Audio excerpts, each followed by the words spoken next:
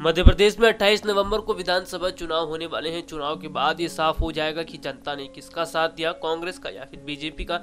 वैसे आपको बता दें, इस बार मध्य प्रदेश के जो हालात हैं, वो ये बता रहे हैं कि अब की बार बीजेपी की जीतने की संभावना बहुत कम है। क्योंकि प्रदेश की जनता शिवराज सिंह चौहान को वोट देने के मूड में नहीं है। दरअसल इसकी बड़ी वजह यही कि प्रदेश में शिवराज सिंह चौहान ने जनता के लिए कोई बड़ा कदम नहीं उठाया, जिस वजह से जनता काफ़ी नाराज़ है।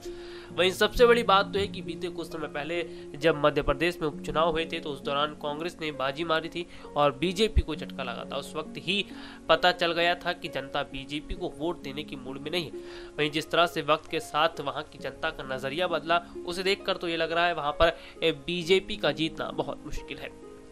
एस नाइन न्यूज़ रूम से राहुल की रिपोर्ट।